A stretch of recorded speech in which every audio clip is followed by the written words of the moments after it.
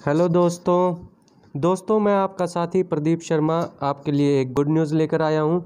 तो मेरे प्यारे दोस्तों, जो भी क्लर्क से रिलेटेड है अभी अभी उनके लिए एक गुड न्यूज़ है। तो दोस्तों, लगभग अठारह हज़ार कैंडिडेट क्लर्क के रिज़ल्ट की वेट कर रहे हैं। तो आज हमारे सीएम मुख्यमंत्री मनोहर लाल खट्टर ने एचएसएससी की भर्तियाँ और क्लर्क के रिज़ल्ट के बारे में लाइव घोषणा की है। यदि आप जानना चाहते हैं कि क्लर्क भर्ती के बारे में तो वीडियो को स्किप ना करें और वीडियो को अंत तक ज़रूर देखें। अगर वीडियो पसंद आए तो लाइक कर देना। तो चलिए सुनते हैं हमारे सीएम की लाइव घोषणा जिसमें उन्होंने एचएसएससी की भर्तियाँ और क्लर्क से जुड़ी जानकारी दी है।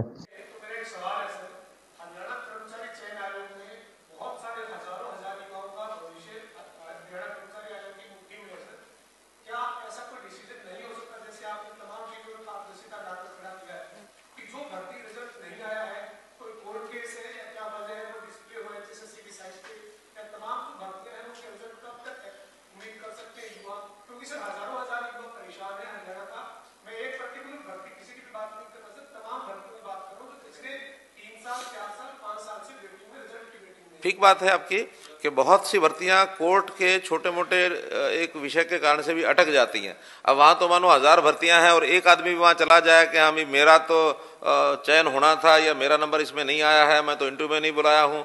तो कोर्ट आजकल ऐसे है कि बिना सोचे समझे, अब मैं ये शब्द कह तो रहा हूँ, कहीं वहाँ ना पहुँचा देना आप।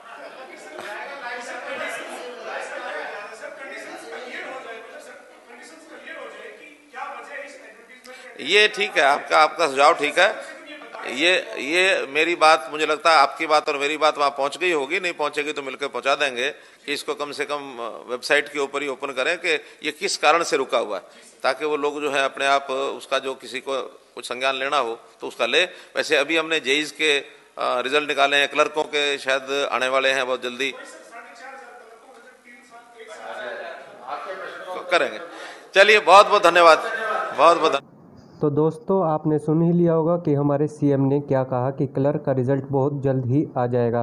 तो जैसा कि आपको पता है कि अभी अभी जेई सिविल का रिज़ल्ट के बारे में भी सी सीएम ने घोषणा की थी और उसका रिज़ल्ट भी आ चुका है और उसके डिपार्टमेंट की लिस्ट भी जारी हो चुकी है।